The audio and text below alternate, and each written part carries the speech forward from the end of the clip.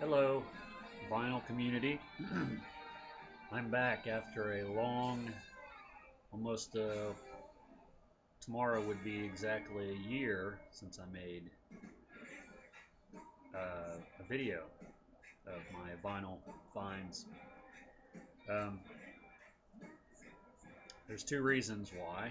One reason was I didn't have a decent uh, webcam that was that worked right, and the other reason is I had uh, between just regular doing you know working and so on and being lazy, I just haven't done any.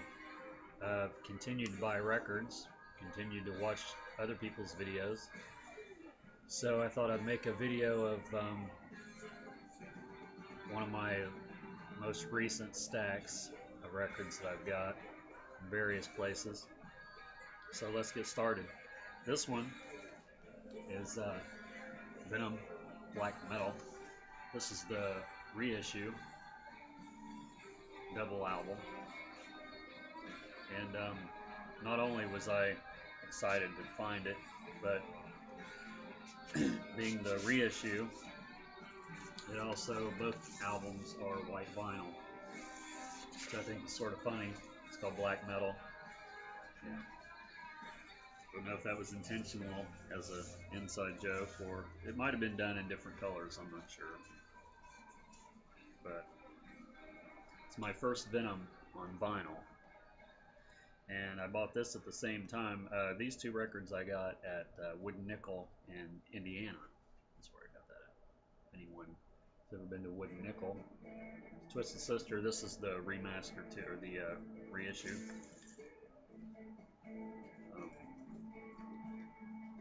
And it's pink vinyl. Sort of clear pink, sort of see that.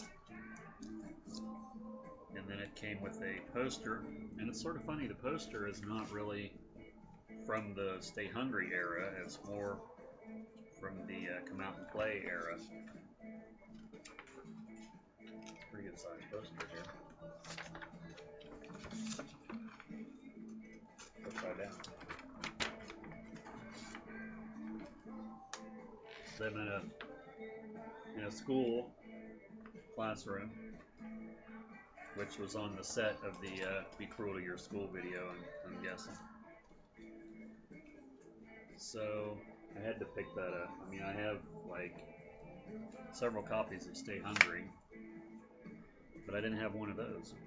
Okay, and then I just watched a video posted on um, the Facebook vinyl community of uh, Sequoia Flame, and he's recently found this.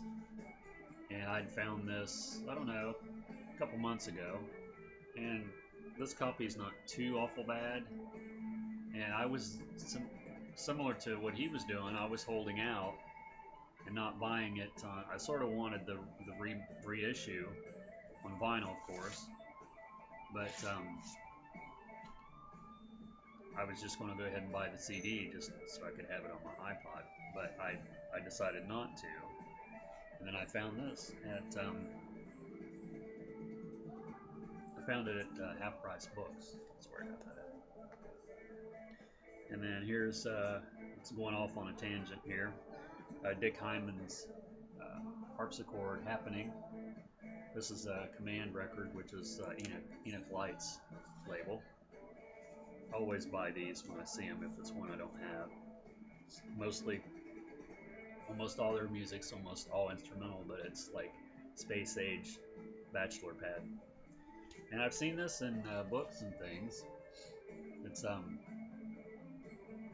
I'm not real sure if it's uh, it's like excerpts of different things. Even has Adolf Hitler on here. Uh, stereo dynamics to scare the hell out of your neighbors.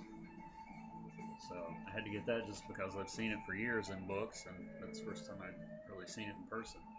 Uh, Fred Lowery, uh, Whistles, your gospel favorites, and I I have a couple of his records, but I don't think I have this one. Just for the weird factor, I had to pick it up, of course. Uh, the New Riders of the Purple Sage. I didn't have this one. This has um, on Dwight Yoakam's new CD, Three Pears, he does a cover of this song, Dim Lights, Thick Smoke, and Loud, Loud Music. And I hadn't realized, you know, listening, I hadn't heard the song, so I didn't know it was a cover. And then uh, Journey Escape, which I think I had it, but I bought it anyway. And it's to the point, I got so many uh, records that it's to the point where it's getting a little blurry on what I have and what I don't have. So there's some things, some things I know I need an upgrade, and then other things it's like, hmm, I'll have to get that. It's a good price, and then I come home and possibly run across, oh, I already have one or two copies, whatever. This is Giuffria's first album, or I'm sorry, it's their second album, Silk and Steel. And I used to have this on a cassette. MTV used to play a video called um, I Must Be Dreaming. Uh, here's the ELO that I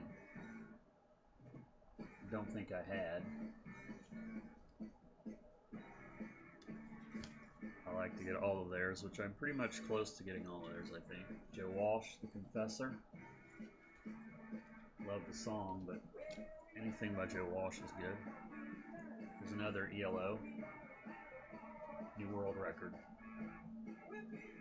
This one has um, Do Ya, which was covered by Ace Frehley a few years ago. Simon and Garfunkel, Sounds of Silence. Which I don't think I had this one. I'm trying to get all theirs too. And here's an odd ball, Tammy Faye Bakker. I actually like her singing just because I like everything, and you know, it's sort of weird to like it, I mean. Here's a um, Rolling Stones Miss You single, and on the other side, it's got Far, Far Away Eyes, which I love that song, and it's just the fact that it's a single, all for some girls. And then I think um, Sequoia Flames showed this one in, this, in his recent video. And it was the Rolling Stones, and I found this one 12 by 5. And then uh, the Bee Gees' first album, which I did not have. I think I have all the rest of them. Uh, Bonzo Dog Band, which I had this one, but the, mine had writing all over the front of it, so you know I decided to. I mean, you don't see their stuff very often, so it's really cool. If you like Captain Beefheart or Frank Zappa, you'll probably like this. Uh, Boston's uh, Don't Look Back. And I didn't have this one. I used to have it on. Um, years ago, I used to have it on vinyl, but what happened to it? And this just looked interesting. Moon Martin, Escape from Domination. This is a perfect example of buying a record based on the cover. I haven't listened to this one yet. So,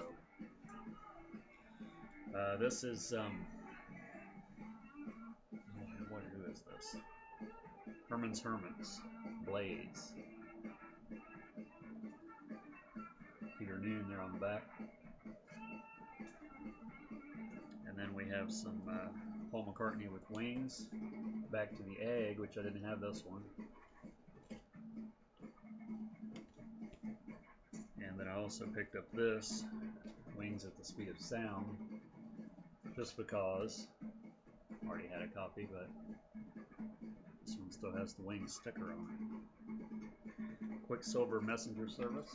This record's pretty worn, but I don't have I didn't have any of their stuff. And for 99 cents, you know. And another Quicksilver. This one's called called Just for Love.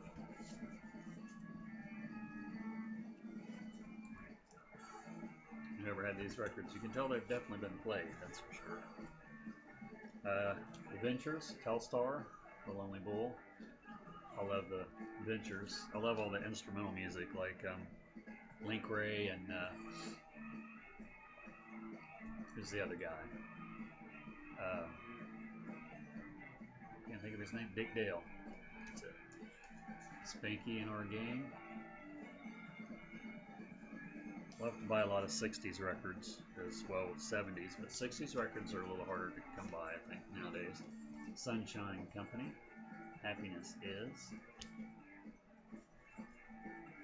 It's great stuff. Psychedelic. And uh, Kathi McDonald, Insane Asylum. I mean, the, the title would get me to buy it, but uh, she does a version of Heartbreak Hotel, and there's a song on here called Bogart to Bowie, Freak Lover, something else, which is an Eddie Cochran song. So, you know, I haven't listened to that either, but I'm sure it's going to be good. Montrose didn't have this uh, power money, paper money. I have the first two Montrose, but I didn't have that one. And last of this stack, Stevie Wonder's Talking Book. This is the one Stevie Wonder that I didn't have on vinyl. I have uh, a lot of the other ones, but that's one I was um, holding out for. I mean, I wouldn't have bought it on CD when I had most of the songs, but so there you go.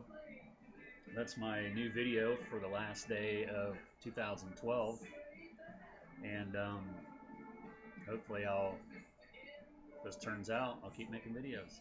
See ya.